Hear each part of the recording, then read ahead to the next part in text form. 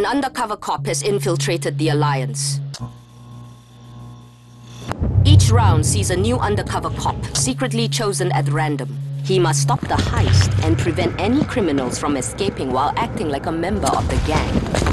The plan is tight and bulletproof. Get the $4 million and get the hell out again in four minutes. You compete to end the three rounds with the most cash.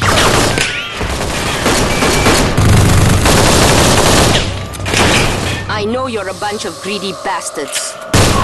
So there is a reward to the one who kills anybody who starts getting greedy. But be careful, some undercover cop has infiltrated our outfit. The undercover cop will not become a traitor when killing criminals, but he must wait until the crime has been committed. I hope you get the bloody idea. Trust no one and stay sharp. Do not turn your back to anyone at any time. And if you find a rat, kill him. I'll pay you well for it.